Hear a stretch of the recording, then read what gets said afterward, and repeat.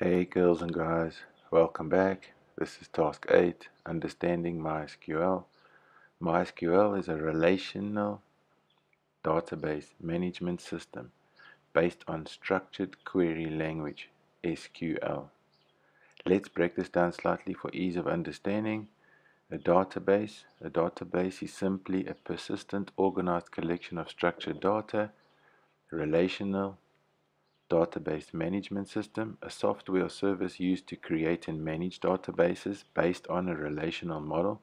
The data stored in the dataset is organized as tables. SQL, structured query language.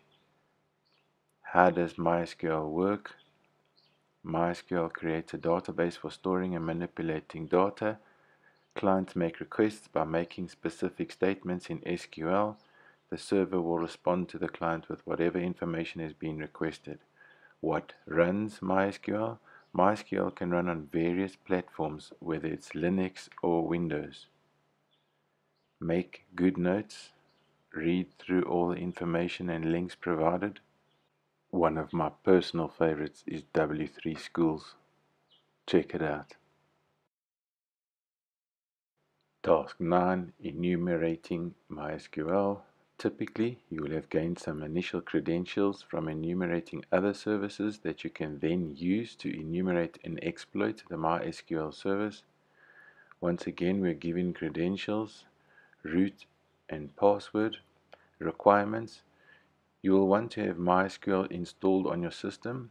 If not, you can install it using the given command highlighted sudo apt install default MySQL client.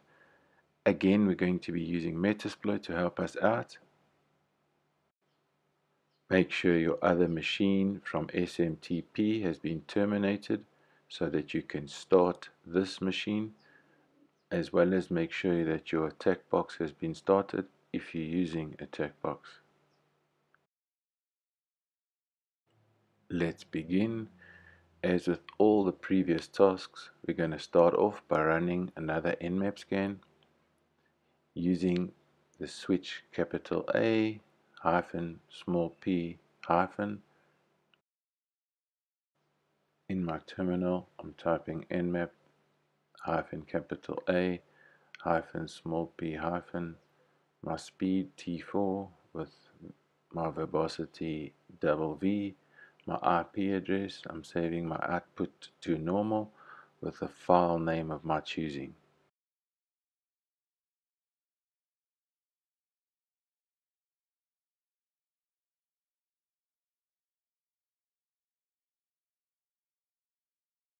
The Nmap scan results are ready to take a look at. We can see there are two ports open. Port 22 open SSH and port 3306 MySQL. Next we need to download MySQL because it's not installed for us. Let's copy this command given to us and go and paste it into our terminal.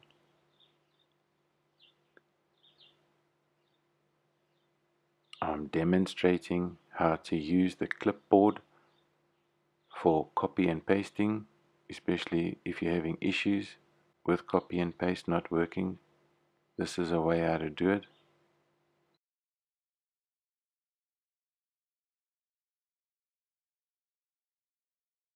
Let that run.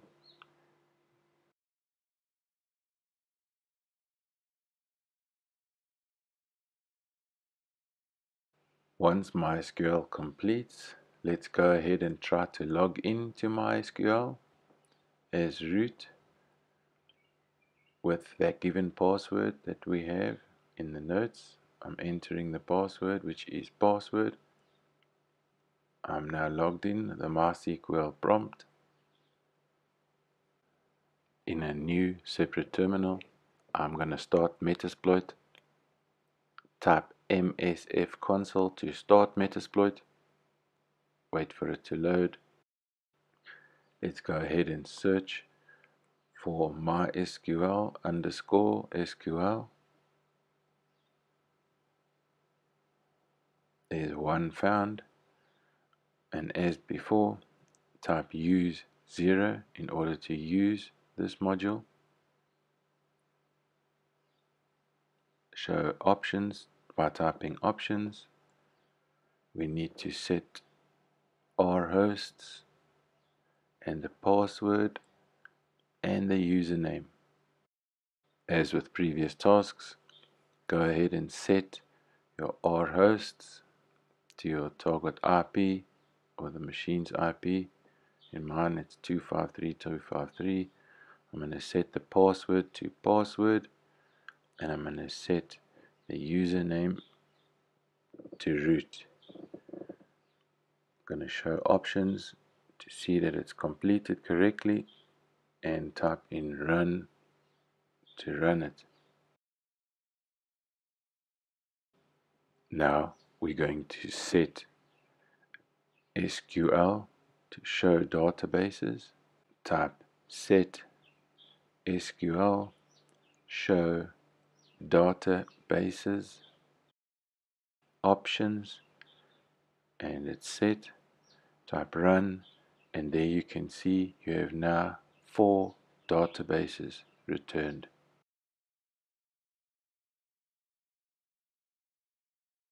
I'm going to back out of this module. I'm going to search again. This time I'm searching for MySQL underscore schema dump. There's one only that comes up. Let's use it type in used 0 options again. You can see we need to set the password the R hosts. So just like before I'm hitting my up arrow key to return to the previous commands and I'm going to set my R hosts set the username set the password options to see that they are correctly set. And now type run